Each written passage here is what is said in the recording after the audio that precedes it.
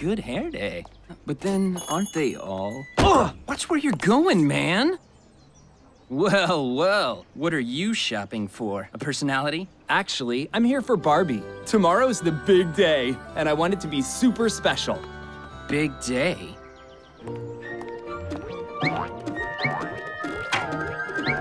Could it be Valentine's Day? This is my big chance. I cut Ken off at the knees by blitzing Barbie with great gifts and tons of Ryan charm. Then she kicks him to the curb, and Barbie and me are a red hot item. These'll be perfect for Barbie. Yeah, right. Got you some pretty flowers, Barbie. What'd you do? Pick him at a landfill?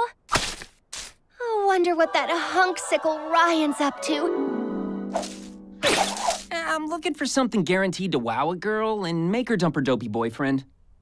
I need a number 32!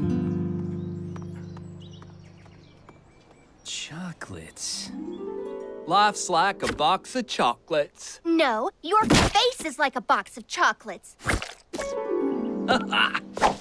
Do you do custom orders? Gee, none of these are right.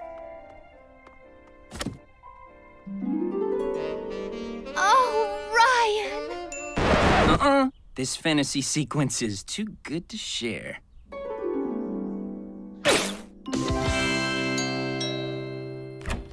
Happy Valentine's Day, Bart. Hold it! Those aren't flowers. These are flowers.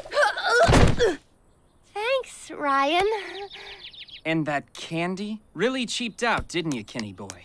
Mm-mm. That hair looks yummy, huh? Uh, probably not a good idea to leave that yummy hair out in the Malibu sun. Whatever. Check out my card. Hey, Bob, you want the jackpot? Lousy cheap sound chips. so was that the best Valentine's Day ever or what? Wow, Ryan, you really went all out. Kinda puts the stuff I got to shame. You said it, I didn't. Although I was about to. Ken, I'd love to see what you got me. They're not much, but. They're lovely. And these are the chocolates you've liked since you were a little girl. Ken, I can't believe you remembered. And there's this. Made it myself. Dear Barbie, you'll always be my girl. Love, Ken. Oh, yes, I will. Oh, Ken,